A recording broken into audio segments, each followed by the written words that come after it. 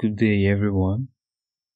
My name is Oketeru Kehinde James from the Wikimedia News Group, and thank you for joining me today. I'm here to talk about the importance of Wikinews in African languages, with a particular focus on the Wikinews as a model for unlocking the potential of African languages.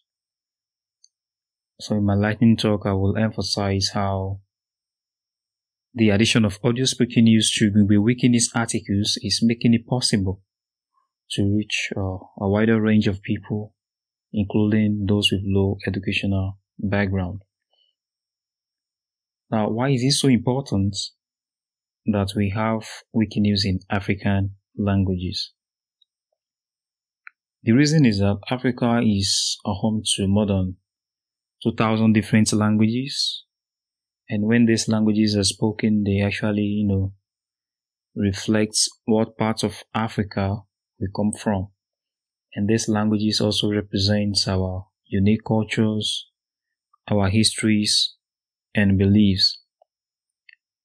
Wikinews now gives Africans the opportunity to actively participate in the creation and sharing of news in our indigenous languages.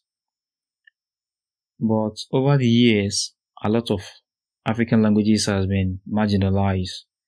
They have been seen as insignificant. Simply because these languages cannot be used in institutions, they cannot be used in teaching, in writing, and in research making, since they can only be understood by specific African groups associated with that particular language. So that makes people feel that African languages are of no value. But Wikinews has now empowers Africans to shape the narrative, to see that there is a lot of things we can accomplish with our languages. They are important and to fight against language marginalization and preserve our linguistic heritage. And this makes Gungbe Wikinews to now serve as a model for other African languages. Gungbe is spoken generally in Benin Republic and some parts of Nigeria, which is Badagry to be precise. Badagry is a town in Lagos that shares border with Benin Republic. So Gungbe is spoken in these areas by approximately 1.5 million people. And the journey of Gungbe Wikinews actually started in August 2022 from incubator with at least two to four articles daily and consistently for eight months. Yes. Before it was finally launched on the 20th of April 2023. And it became the first African language edition of Wikinews. So the Gungbe community have paved the way for African languages on Wikinews.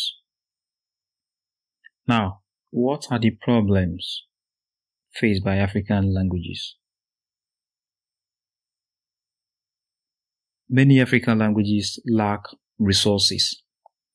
For instance, some native languages lack standardized written forms. This means that there is no standard or specific way to write or spell words, which is making it difficult to develop educational materials. This lack of standardization has, you know, led to confusion, miscommunication, and also hindering the use and promotion of these languages. It has also led to the extinction of over 200 African languages thus making our younger generations to now prefer speaking dominant languages over our mother tongues. We can see the rate at which people, most especially our younger generations, the rate at which they want to speak French, they want to speak English and Arabic. So lack of resources is part of the problem facing African languages. Lack of recognition and digital presence are also part of the problems. Illiteracy is also affecting people, you know, hindering them from having access to news information. So since they have low education background, they find it very difficult to access news information. So acknowledging those problems, the community now thought of what they can do to, you know,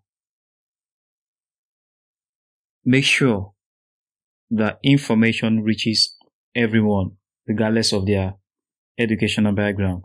And that's where the addition of audio spoken news came in. And these, you know, have had uh, um, a powerful impact on our people. The the addition of audio speaking news has now make it easier for those with low educational background, those who cannot read to now have access to news information. The audio speaking news has also, you know, increased our engagements and widen our audience. And that reminds me of our experience when we started sharing links to wiki news pages with audio spoken news through a WhatsApp group we created.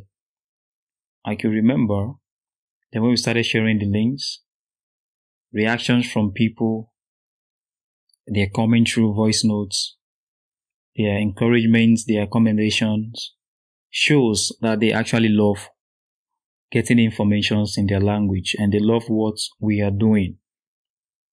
So what Gungbe has done is to make sure that regardless of people's education, their age, whether young or old, whether they are in rural communities, they can have access to accurate and relevant news.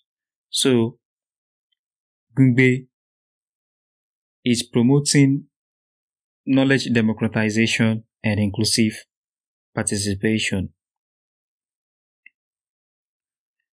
And the success of Gungbe Wiki News now presents an opportunity for other African languages to replicate in order to unlock their own potential. And that can be possible through collaboration.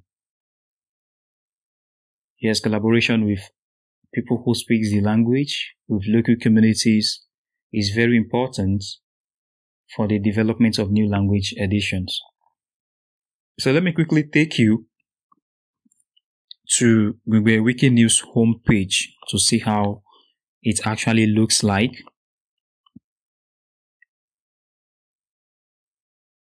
Let me quickly do that. Now this is how Gungbe Wiki News homepage looks like. So the Gungbe News project has become a pioneering force in unlocking the potential of African languages. So as a Wikimedia community, we must continue to support, to provide the necessary resources and fostering the growth of African languages, edition of Wikinews. And together, we can herald a new era of inclusive knowledge sharing and cultural preservation for Africa. Thank you.